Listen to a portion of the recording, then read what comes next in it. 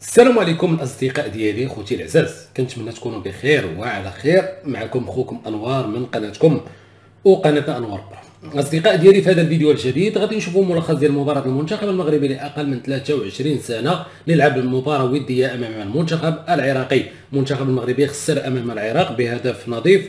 غادي نخليكم تشوفوا التحركات وحكموا وعطيوني الآراء ديالكم من خلال التعليقات. كنتمنى كل واحد فيكم شاف الفيديو. يفرقع لنا واحد like باش الفيديو يتبارطاجا في نطاق واسع ويوصل لجميع المغاربه في جميع أنحاء العالم.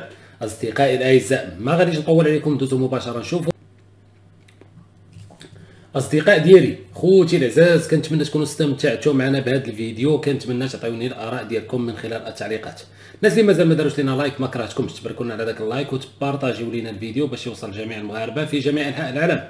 اما الناس اللي ما مشتركينش في القناة كنتمنى من الصميم ديال القلب ديالي. الاشتراك في القناة وتفعيل زر الجرس لتتوصلوا دائما دائما بالجديد ديالنا. تهلاو لي فراسكم بزاف. موعدنا في فيديو قادم.